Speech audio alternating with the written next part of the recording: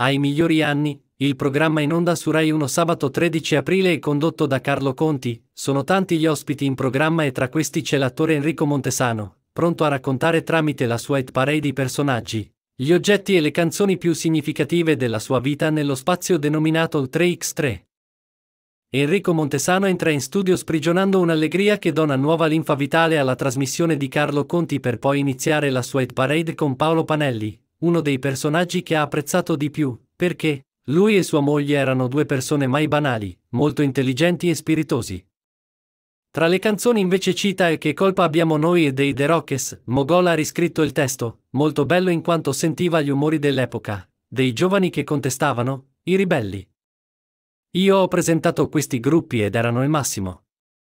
Un oggetto che suggerisce ai giovani è il jeans a zampa di elefante, perché era la moda di quegli anni, e poi il modo di vestirsi era importante.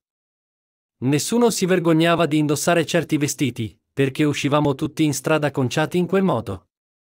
Un altro personaggio è Aldo Fabrizi, perché recitare con lui il rugantino per tre mesi e stare tutte le sere alle prove insieme era stupendo. Le abbiamo fatte sotto Natale e tutti i giorni arrivava con quattro o cinque scatole di Pandoro, mentre la seconda canzone è Stasera mi butto di Rocky Roberts, lui è stato un simpatico personaggio che ci teneva compagnia tutte le sere sulla Rai.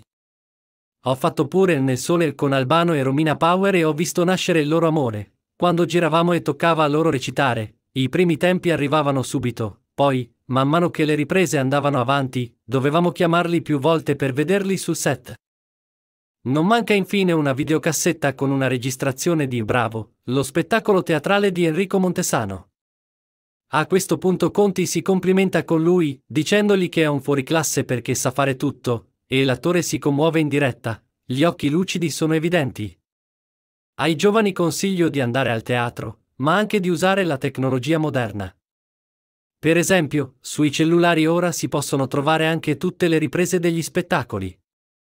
Ricordatevi che per giudicare un attore bisogna averlo visto al teatro, è questo l'importante. Il video finisce qui, ma se sei interessato alle news puoi iscriverti al canale e attivare la campanella per non perderti nuovi video.